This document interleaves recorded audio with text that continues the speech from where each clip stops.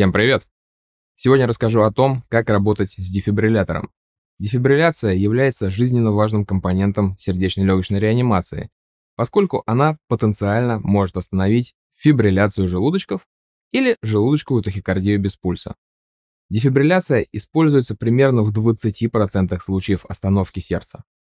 Поскольку ее эффективность снижается со временем, попытки дефибрилляции должны быть своевременными, оставаясь при этом эффективными и безопасными. Знание того, как использовать дефибриллятор, является ключевым для спасателей, выполняющих расширенную СЛР. Как наложить электроды, что делать с кислородом, куда намазать гель и как нанести разряд пациенту, а не себе. Разбираемся на ProSMP. Поехали!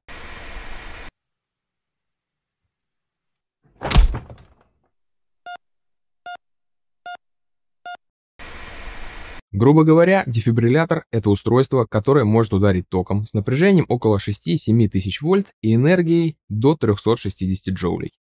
Энергия разряда достаточно большая, чтобы вызвать искрение, а учитывая соседство кислорода, это уже выглядит опасно.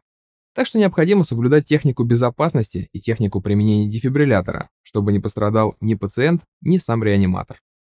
Помимо этого, хочется, чтобы наносимый разряд был максимально эффективным, а не просто искры в воздух. Для этого есть определенные правила. Начну с наложения электродов. Как вы помните, у дефибриллятора есть всего два электрода. Они бывают самоклеющиеся и ручные. Мы чаще работаем с ручными, то есть с многоразовыми. На всех типах электродов, независимо от модели дефибриллятора, есть обозначение, где на теле пациента надо расположить этот электрод. На одном написано Apex или верхушка, на втором – стернум или грудина. Иногда на липких одноразовых электродах рисуют схематическую картинку в расчете на то, что обыватели не должны знать, где расположена верхушка сердца. Итак, есть несколько приемлемых положений электродов. Стандартное положение – передневерхушечное. Электрод с маркировкой Apex располагается на боковой поверхности грудной клетки в области верхушки сердца. Другой электрод с маркировкой Sternum располагают сразу под правой ключицей. Это положение электродов удобно при обычном проведении реанимационных мероприятий с использованием ручных электродов. Обратите внимание, верхушечный электрод надо расположить именно на боковой поверхности грудной клетки, а не на передней. Так сердце попадает в проекцию прохождения электрического импульса. Если расположить на передней поверхности, электрический импульс затронет только часть передней поверхности сердца, а значит разряд будет просто неэффективен. Второй вариант – переднее-заднее расположение. Это расположение удобно при использовании липких электродов. Во-первых, они плоские, и надо просто один раз их приклеить.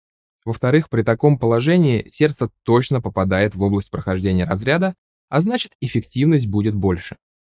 Электроды располагаются так. Одна пластина наклеивается сразу под левой лопаткой, другая на передней поверхности грудной клетки, слева в проекции сердца. И еще один вариант – биаксиллярная позиция. Ее удобно использовать, если пациент находится в прон-позиции и нуждается в электроимпульсной терапии. Каждый из электродов просто располагается на боковой поверхности грудной клетки. Как подготовить электроды к нанесению разряда? Во-первых, надо максимально улучшить прилегание электродов к коже пациента. Используйте контактные гели, например, гель для регистрации ЭКГ. Он легко проводит электрический ток, а значит не будет искрения, пациент не получит электроожог, а сила проходящего тока будет максимальной, так как не будет прослойки воздуха. Помните, что воздух – отличный диэлектрик. Второй аспект. Смазывать необходимо сами контактные площадки электродов, а не тело пациента. Если смазывать тело пациента, то возможно образование дорожек из геля между электродами.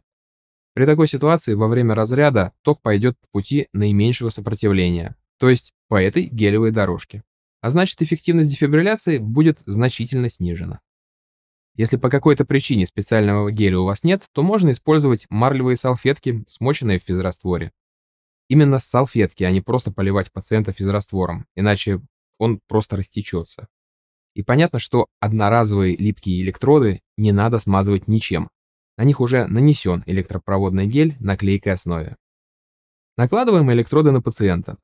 Помимо того, что мы устанавливаем их в правильной точке, есть еще пара моментов. Верхушечный электрод надо располагать наибольшим размером вдоль тела пациента. Электрод не надо располагать прямо на молочной железе. Эта рекомендация не зависит от пола пациента. Дело в том, что на прохождение тока через молочную железу тратится часть энергии, а значит сердце получит меньший разряд, а значит эффективность будет ниже. Чтобы правильно расположить верхушечный электрод, надо отодвинуть молочную железу одной рукой, а другой прикладывать сам электрод. Отпускайте молочную железу, и она будет лежать на электроде. Важно оценить наличие каких-либо украшений. Перед дефибрилляцией необходимо снять любые украшения, включая пирсинг сосков и ожерелья. Электроды не должны соприкасаться с металлическими украшениями, поскольку это может вызвать искрение и ожоги от разогретого металла. Еще одна проблема – имплантируемые кардиостимуляторы. Прохождение тока через эти устройства может вызывать их повреждения. Поэтому электроды надо располагать на удалении как минимум 8 см от стимулятора или использовать альтернативное положение электродов. Чтобы контакт был максимальным, надо их прижать к телу больного с силой около 8 кг.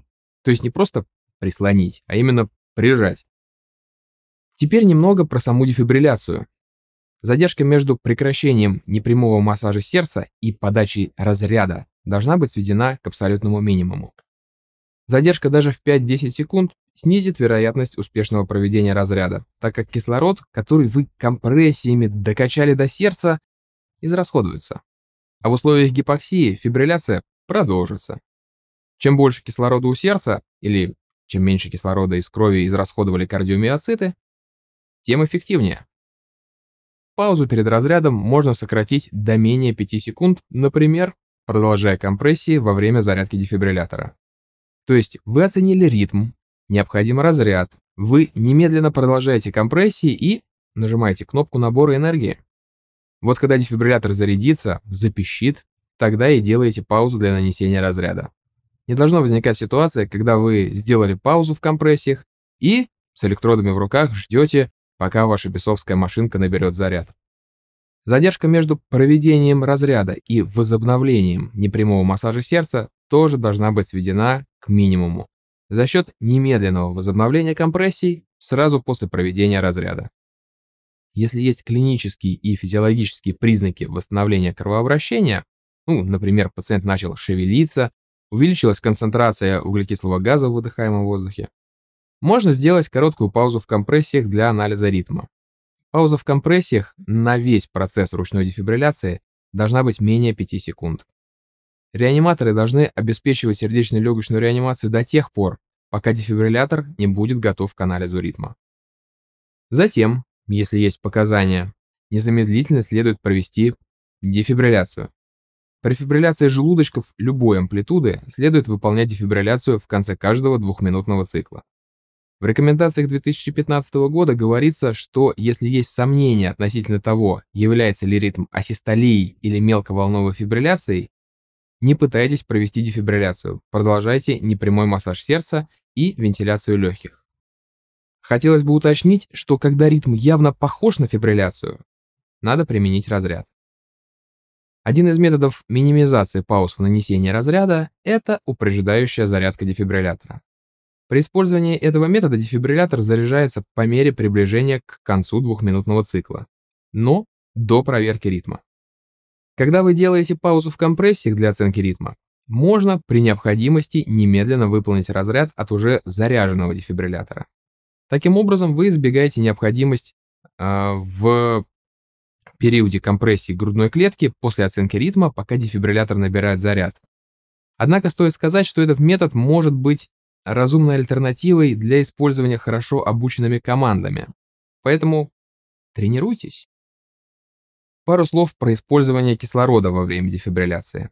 В атмосфере, обогащенной кислородом, искрение от плохо приложенных электродов дефибриллятора может вызвать пожар и серьезные ожоги пациента. Чтобы этого не произошло, надо сделать следующее. Если используется кислородная маска или назальные канюли, то надо их снять с пациента и поместить на расстоянии не менее 1 метра от груди пациента. Если мешок амбуб подсоединен к эндотрахеальной трубке или ларингеальной маске, не отсоединяйте его.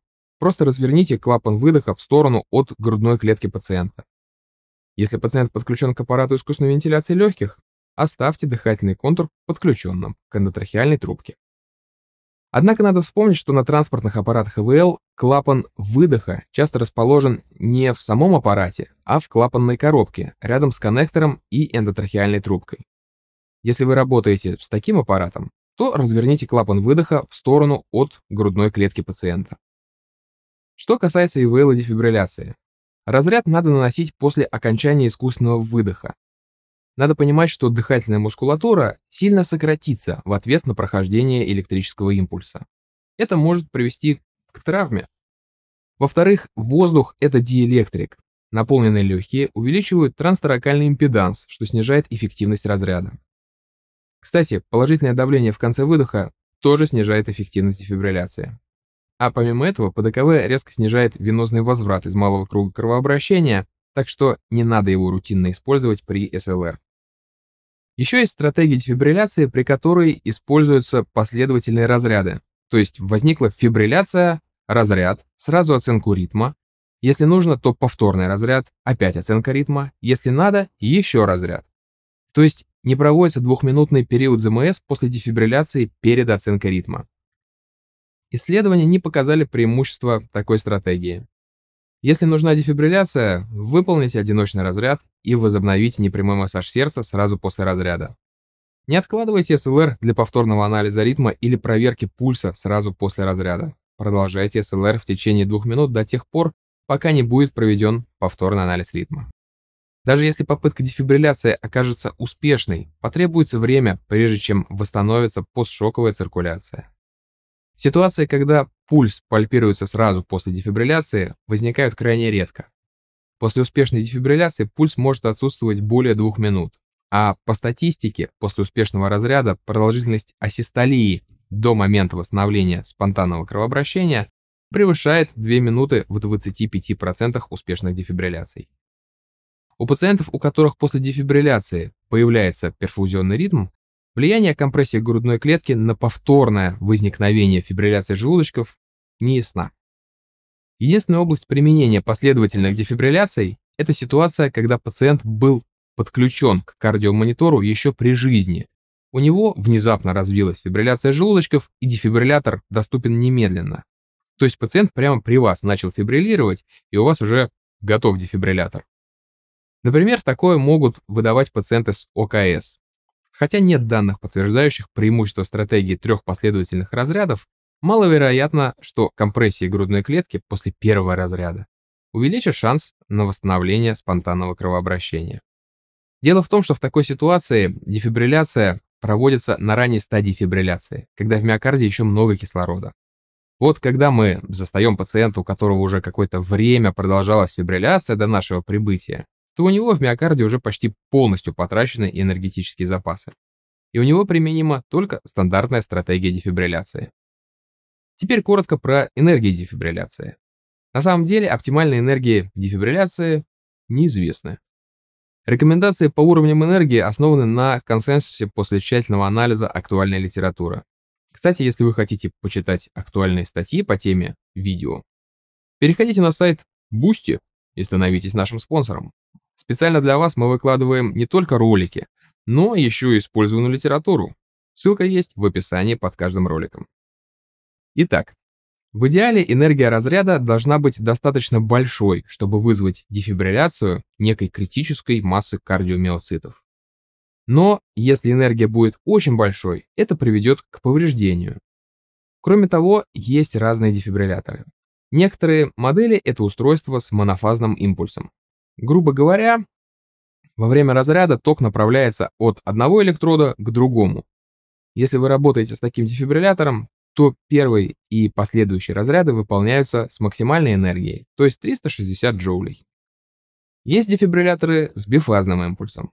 У них ток направляется от одного электрода к другому и сразу обратно.